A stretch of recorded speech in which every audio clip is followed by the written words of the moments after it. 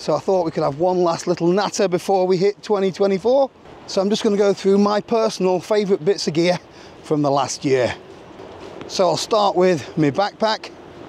I've actually used quite a lot of different packs over the past 12 months. But my favourite has been the Atom Packs Mo EP60. So I began the year mainly using the 50 litre version of this pack. I used the 50 litre version for my couple of longer distance trails, including the Cumbria Way. But recently I've been re-evaluating the type of camping that I want to do and I want to just enjoy it more, take a few extra luxuries and having the extra capacity in this 60 litre pack allows me to do that. So it's pretty much the same as the 50 litre version, just a little bit larger in capacity. It's a very comfortable pack, but it has been made to my torso length. Plenty of storage in these stretchy pockets, bungee cords everywhere. There's a strap on top so you can put things like um, closed cell foam mats if you want to, or a beer canister if you live overseas. I do like the roll top packs as well. Although these materials are waterproof, the pack itself I would just say is water resistant because you know, all of these stitching things are not, they're not tape seamed. Loads of room inside, You've definitely got to be really into your backpacking though to shell out this kind of money when something like a, an Osprey Exos will do virtually the same job, although that is more mass produced. Right, let's move on to the next bit of gear. My favourite tent of 2023 and relatively new to me, last couple of three months. It's the Hilleberg Unna. My original plan was to get another solo but had head turned by this one. I remembered why I'd got rid of the solo and it's because it wasn't quite big enough inside. So I messaged Todd from Going Solo, he's got both the tents and he rightly said that the solo is more storm worthy. But I don't plan on going out in 60 mile an hour winds and I have upgraded my poles to the 10 millimeter poles which are for the black label Staika as well as adding a few extra guy lines. So the Unna has quite a small vestibule area but it does have a little trick up its sleeve where you can create a virtual vestibule by unclipping the, the inner in one corner a little bit. I've actually found that that works perfectly for me. It gives me loads of room for getting changed out of my wet gear. There's acres of space for cooking to put your backpack and it still leaves you loads of room inside the tent. But the main thing for me is it's given me that feeling again that I got when I got my Hilleberg Solo. There's a, there's a big trust there that the tent is not going to let me down um, in whatever the conditions are, put a massive smile on my face. As with all tents, it's not perfect, but I've made a few mods already, and there's a few more on the way, including a mesh in there so I can use it all year round. Right, this one was tough. My favourite stove and cook set.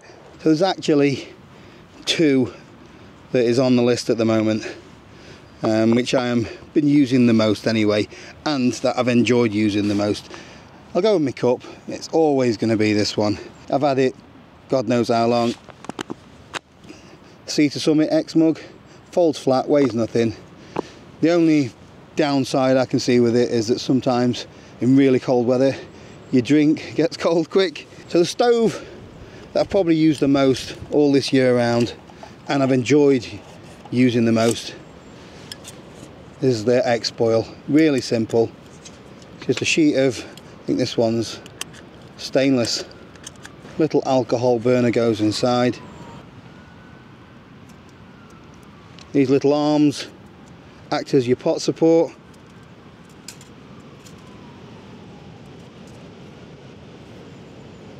Fuel goes in there.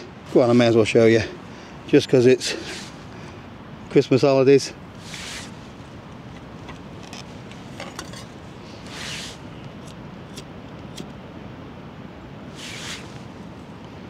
There we go.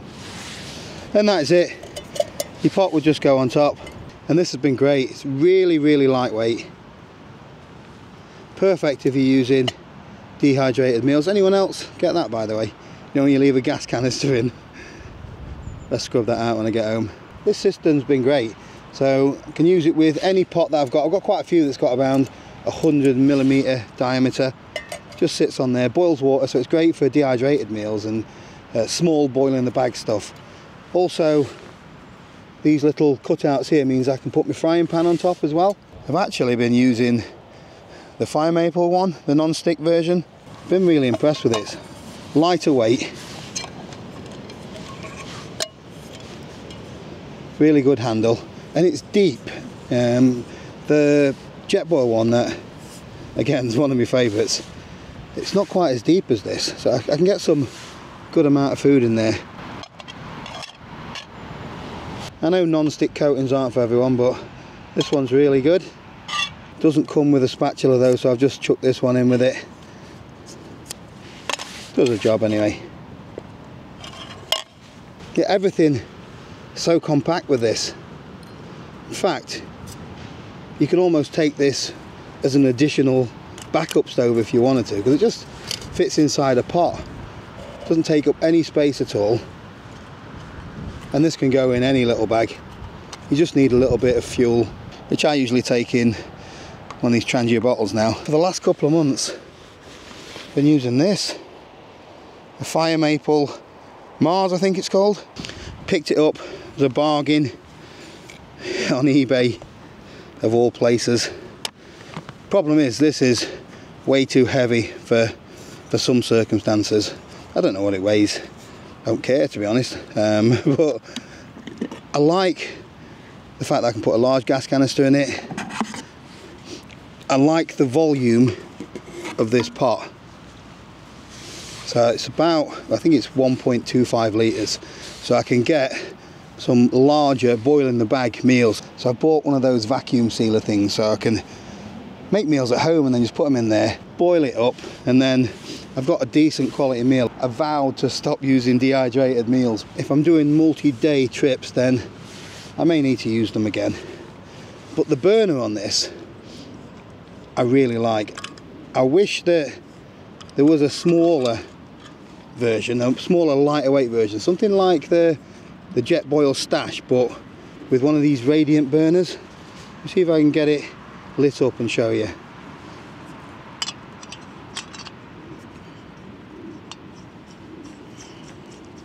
This is another one of my favourite bits of gear. Soto extendable torch like a mini blowtorch on the end. I don't think this will pick it up on the camera. But it's really good for lighting in windy conditions. That is lit. Chucks out loads of heat and that will glow red in a moment. But it makes it really, really wind resistant. So it's not just about the flame, it's the some sort of built-in radiator.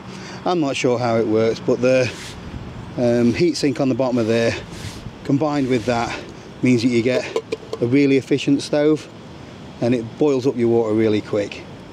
So although this is a bit too heavy, the sort of meals I'm going to be cooking, it makes makes it perfect with this pot. And it does come with this little pan support as well, which means that I can fry my steak. It's incredibly sturdy this been so impressed. I do like the fact that it's so low to the ground. It's not going anywhere. I've had people telling me for a couple of years to try the fire maple stuff, but I've resisted. I am a Jetboil fanboy after all. But this has been brilliant so far, and I will be continuing to use this for quite a few trips in 2024. Before this goes back in the bag, few honourable mentions of other little gadgets that I like. I do like this bag. Um, I can't remember who sent it now. Logia Gear sent it to me. Um, I'll put a link in the description. Never thought I'd have anything with my name on it, apart from school books. Um, this light, a BioLite, some at 250 model. I don't know to be honest, but uh, overkill for camping, but it is brilliant for lighting things up for me filming. Um, you can get some really much better images when you've got decent light when you're filming in the dark so that's why I, I love that so much. Um, power banks goal zero one 10,000 milliamp. I'm still using my Olight H1R Nova. God I've had that five years now and it's brilliant bit of kit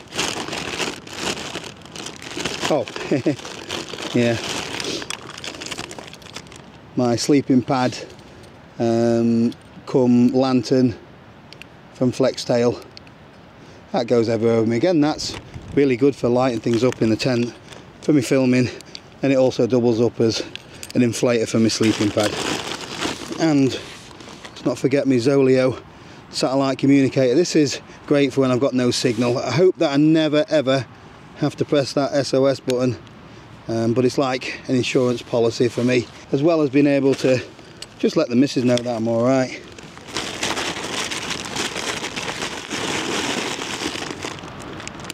But the biggest gadget shout out's got to go to my camera gear.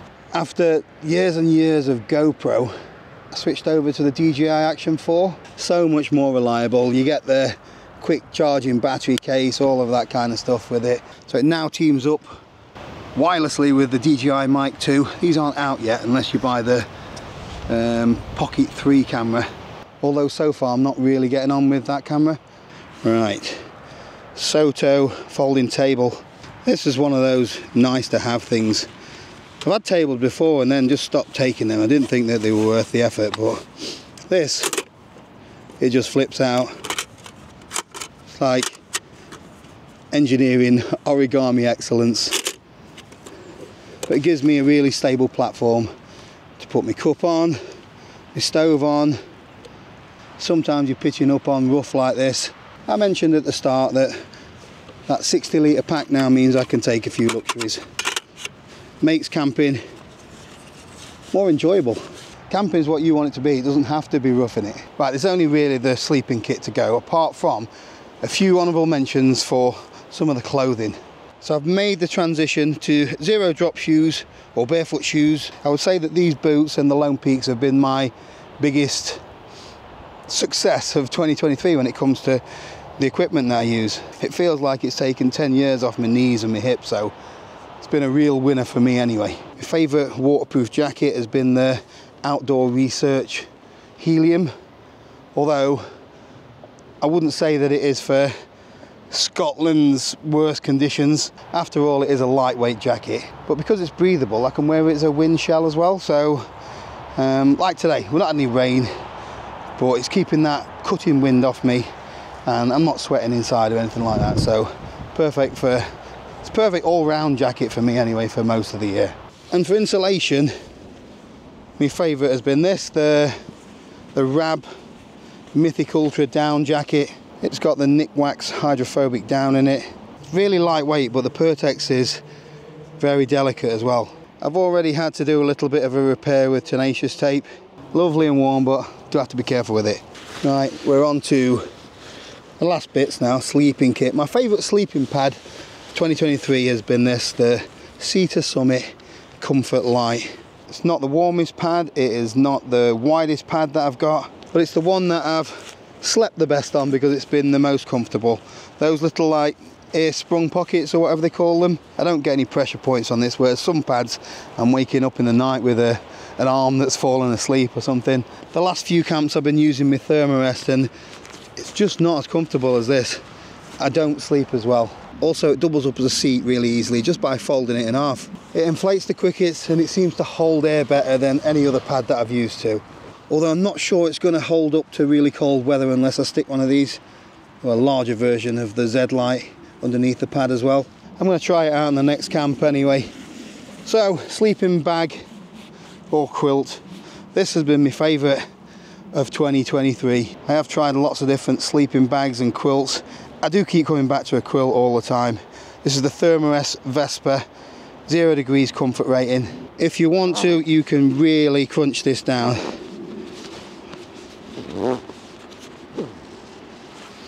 To next to nothing. Let me put it at the side of my my X cup just to give you some sort of comparison. I definitely don't need it squashed down like that in this 60 litre pack though. This is the quilt that I took with me on the Cumbria Way. Worked really, really well there. Uh, hydrophobic down that it's got inside as well. You know, it was perfect for multiple day trips. My biggest bugbear with quilts though is the price of them. So I don't understand why a quilt should be more expensive than a sleeping bag. It's much easier to manufacture, easier to sew, easier to fill, less material but you seem to be paying more money for a lot of them. I don't, I don't understand it. I just want to finish off by saying a big thank you from both me and Joe for all of your support over the last year again. We will be backfiring on all cylinders in 2024, so plenty more adventures to come, loads more gear to see. Thanks again for watching. See you next year.